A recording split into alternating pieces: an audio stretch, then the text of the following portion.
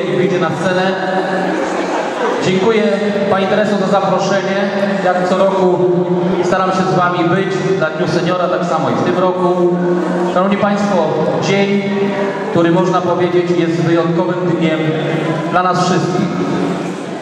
Seniorzy, czyli Państwo tu obecni i tak jak było powiedziane, nie wszyscy, którzy mogli być, są również, jeżeli chodzi tu o grabik, z nami na pewno myślami chociaż. W tym dniu, szczególnym dniu dla Was, ja chciałem Wam życzyć wszystkiego, wszystkiego najlepszego.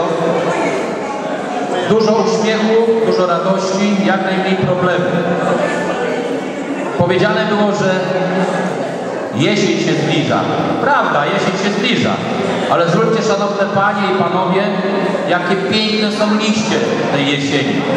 W związku z tym wy też pięknie jecie, chociaż wam lat przybywa.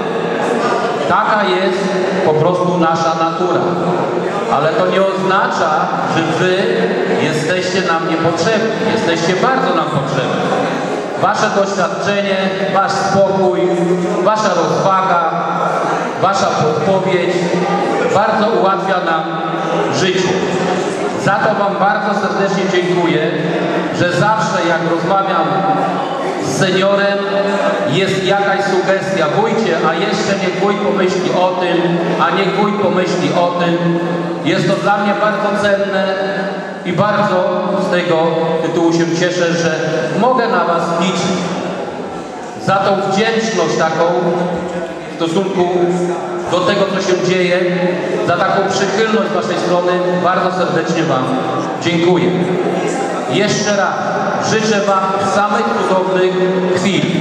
Niech to słońce, które świeci, świeci Wam jak najdłużej i niech będzie to zawsze radosny dzień.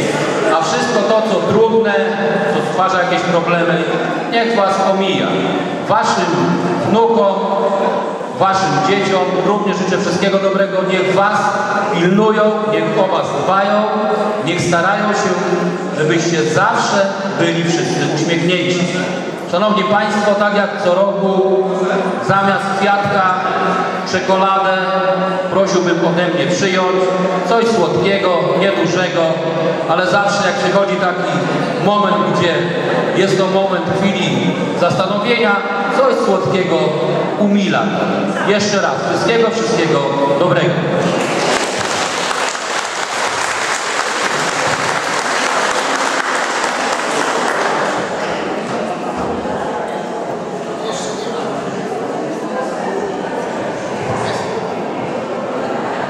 Szanowni Państwo, ja ze swojej strony jako radnego tej wsi chciałem serdecznie podziękować Karolinkom, zawsze o mnie pamiętają i zawsze mnie zapraszają na tą super imprezę, na której się wszyscy bardzo ładnie bawią.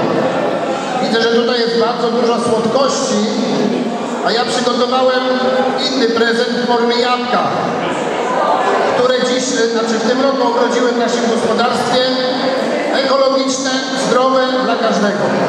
Dziękuję bardzo.